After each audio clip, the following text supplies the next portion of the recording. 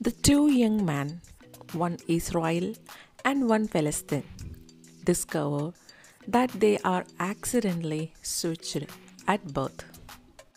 The film is 2012 released movie and the title of the film is The Other Son. Joseph, the Palestine by birth, has been raised by Odette and Alon.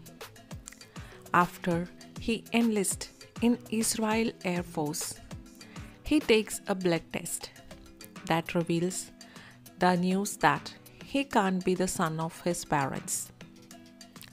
The way this information is carefully disclosed by the hospital spokesman speaks volumes.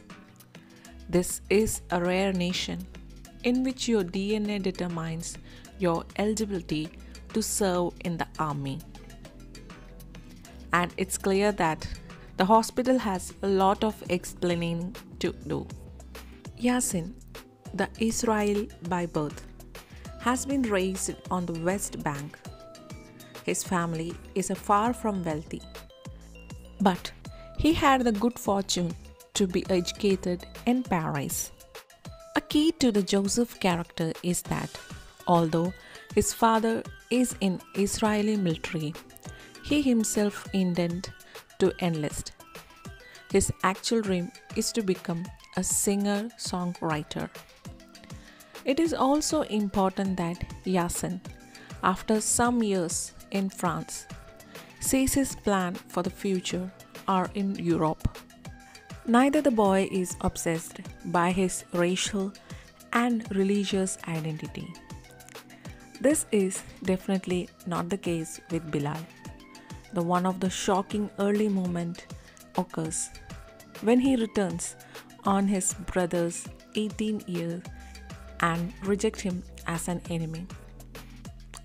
His emotional journey may have has much to do with a long smoldering jealousy about Yasin's Paris years than with his new identity.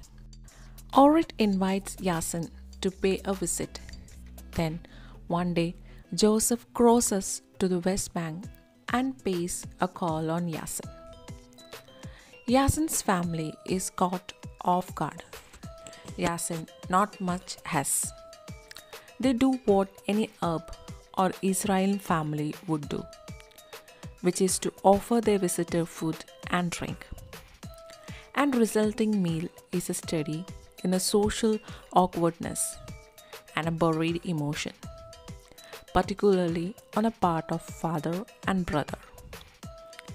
In a moment of inspiration, Joseph begins to sing a song, and it's wonderful how that melts through a frigid atmosphere. Obviously, discovering the truth is devastating, especially to the sons involved, Joseph and Yasin, but also their families.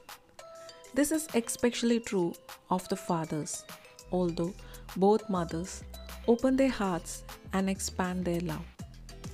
Each woman accepts the new child she knew nothing about without any way rejecting the child she raised. This is an excellent piece of cinema, treating of very tricky and complex questions with intelligence, sensibility, and heart. Extremely well acted, the characters are full of warmth and the both sides in the end seem equally right. The film gives a very hopeful message that one likes to believe in.